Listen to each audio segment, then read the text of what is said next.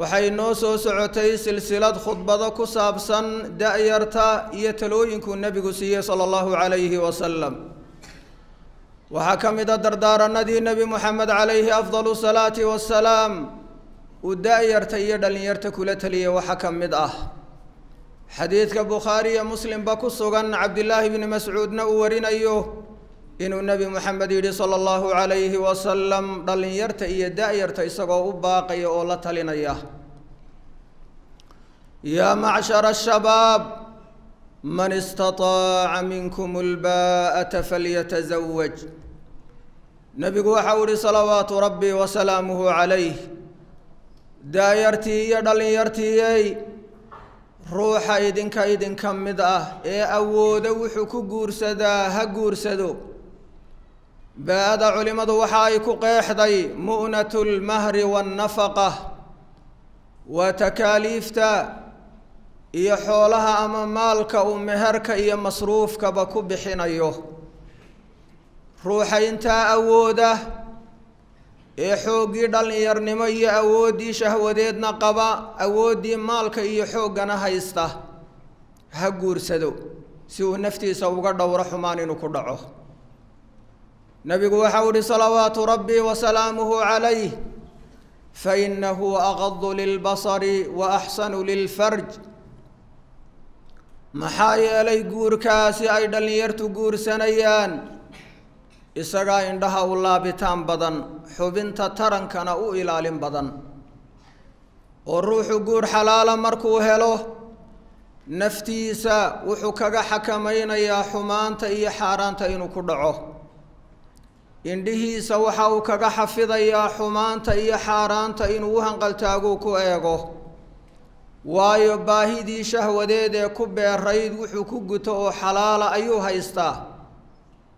Nebigu waxau ihi salawaatu rabbi wasalaamuhu calayh waman lam yastatic ruuxa aan awoodin ee awood iyo itaal ahaan aan u karin iyo dhaqaale ahaan inuu guursado fa calayhi bisawm ha laasimo soomka oo soomka ha ku dadaalo fa innahu lahu wijaa waayo soonkaasi wuxuu u yahay dhufaan waxaa looga jeedaa shahwadiisii xoogga badnayd ayuu hoos u dhigayaa oo daciifinayaa oo waxa weeyaan naftiisa ayuu xaaraanta kaga xakamaynayaa nabiyunaa muxamed calayhi afdalu salaati wasalaam xadiidkaa wuxuu ku tilmaamay talo dhaxalgal ah oo dhallinyarta iyo da-yarta muslimiinta uu soo jeediyey. Waa waano dhaxalgal ah oo si dhaba inay ugu dhaqmaan dhallinyartu ay u habboonto muhiim ay u tahay. Waayo maanta waynu ognahay waayaha iyo waaqiceenna waxa ka jira iyo dhallinyartii dabka ku shidan iyo daadka ku socda waynu dareensannahay dhufaysyada laga gelayo ee nafta lagaga dhowrayo xumaan inay ku dhacdo guurkaa xalaashaa ka mid ah.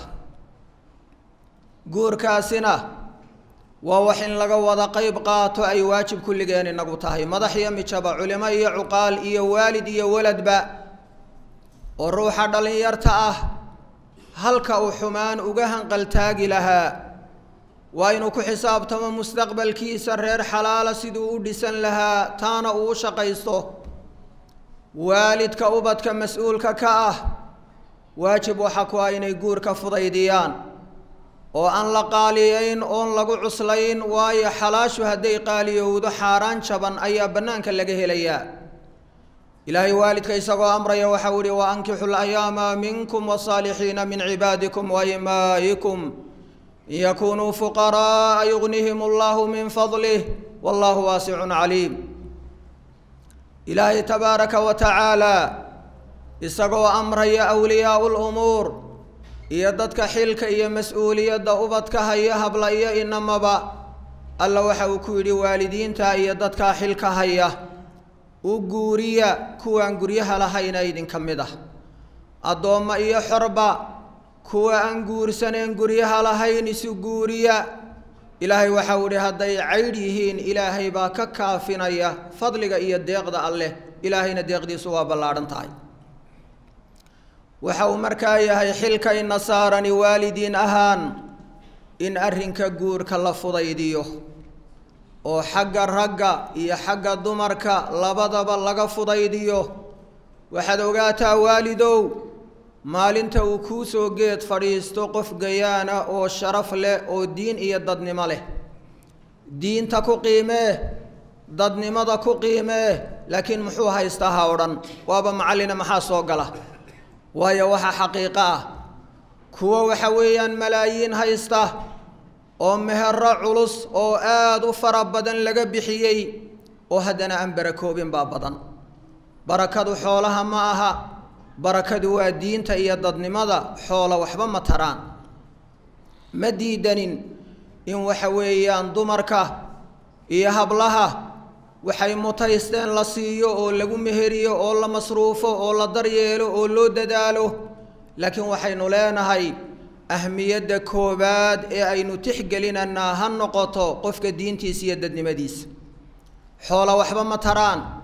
In badan oo xoola leh ayaa xayraana bannaanka jooga oo neef xoole aan lagu aaminayn waxa muhiimku waa diinta waa dadnimada. Wax badan haddaanu haysan ninka ahlu qur'aanka ah ee ahlu diinka ah ee iimaanka qalbigiisa uu buuxiyey waxba kama maqna. Xoog iyo xoolaba taasaa ugu filan. Walaalayaal waa muhiim. Ninka dhallinyartaa inuu dadaalo u shaqaysto reerka uu dhisanayo inta uu helayana uu sabro oo naftiisa soomka uu ku laasimiyo waa daw. Waayo allaba waxa uu ihi subxaanah walyastacfif aladiina laa yajiduuna nikaaxan xataa yugniyahum allahu min fadlih ha dhowrsoonaadaan kuwa aan heli karayn waxay ku guursadaan ilaa ilaahay intuu ka kaafinayo deeqdiisa ee fadli iyo waxa weeyaan xoola u siinayo. Markaa daayeertu inay dadaashoy shaqaysato inta ay uxilasana ay sabirto waa arrin dawa oo saaran. Laakiin waxaa barbar socota waalidkuna dhinaciisa inuu ka dadaalo. Oo waxa weeyaan u fudaydiyo waxa isaga ku xidhan hadday dhinaca ragga tahay iyo hadday dhinaca dumarka tahayba. Waayo waxaa hubaala xalaasha haddii la fududeeyo haddii la dhiirigeliyo wanaagga iyo khayrka sharka iyo xumuhu meesha wuu ka baxayaa walaalayaal. Taladaa muhiimka ee dhexalgalka ah waxaa kaloo ay tilmaamaysaa qofka dhallinyarta ah. Laba mid unbuu u dhaxeeyaa dariiq saddexaad ma leh inuu guur xalaalah oo xaajadiisa uu ku guto uu helo iyo inuu waayo oo uu sabro soomkana u laasimo laakiin dariiqo ka baxsan oo shahwadiisa uu ku gudan karo ama biyaha oo waxa weeyaan dadka qaarkood sida ay ku dhacaan gacmaha ama xubnihiisa uu isaga keeno istimnaa baa la yidhaha oo waa xaaraan. Waayo allah waxau ihi subxaanah waaladiina hum lifuruujihim xaafiduun ilaa calaa aswaajihim aw maa malakat aymaanuhum fainahum gayru maluumiin faman ibtagaa waraa'a dalik faulaa'ika hum alcaaduun allah waxau ihi subxaanah waxaa ka mid a sifaadka mu'miniinta fardowsa dhaxli doona sifaadkooda waxaa ka mid ah waa kuwa xubnahooda taranka ilaashadee xafida. Haweenkeeda haweenka ay qabaan ee guur xalaalihi ay ku kulmeen mooyaane ama midigtoodu waxay hanatay ee addoommadooda ah mooyaane. Taa lagu canaanan maayo qofka oo xaaskiisa ama addoontiisa xaajadiisa ku guta ilaahay tabaaraka wa tacaala waxa uu yidhi faman ibtagaa waraa'a daalik laakiin taa la soo tilmaamay waxaan ahayn ruuxa doona inuu dantiisa ku guto fa ulaa'ika hum alcaaduun alla ilaahay kuwaasi waa kuwa xadgudbay ee dabarka goostay ee xadkii loo dhigay ka tallaabsaday cibaad allah waajibka markaa daa'yarta saarani waxa ay tahay inay xooggoodana ilaashadaan oo xumaan aanay ku baabi'in xalaashana ay u dadaalaan oy u shaqaystaan siday xalaal u heli lahaayeen nabigu sala allahu calayhi wasalam waxa uu yidhi xadiidka saxiixa ah ee imaamulxaakim mustadragiisa uu ku soo saaray albayhaqina shucabu liimaan imaamu tabaraanina fi lawsat cabdillaahi bnu cabbaasna uu warinayo waxau ihi yaa shabaaba qurayshin ixfaduu furuujakum laa taznuu alaa man xafida farjahu falahu ljanna rasuulkeena suubani waxau ihi salawaatu rabbi wasalaamuhu calayh yaa shabaaba quraysh daayartii quraysheeday shabaabkii iyo daayartii reer quraysheedow ixfaduu furuujakum war xubnihiinna taranka xafida oo xaaraanta ka xakameeya oo ka ilaashada laa taznuu war ha sinaysanina oo sina iyo faaxisho iyo foolxumaha ku dhicina alaa man xafida farjah war hooyaay baraaruga oo soo jeedsada ruuxa xubintiisa taranka xafidee ka adkaada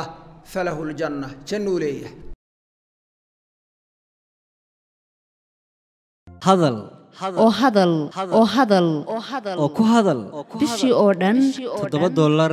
oo keliya. Ku darso fariin kasta oo aad dirtaana waa kuu bilaash. haddaba si aad ugu shubato adeega kaafiye fadlan garaac xidig siddeed eber siddeed afargees ama xidig laba eber laba afargees isticmaal shabakadda ugu ballaadhan geeyiga somalilan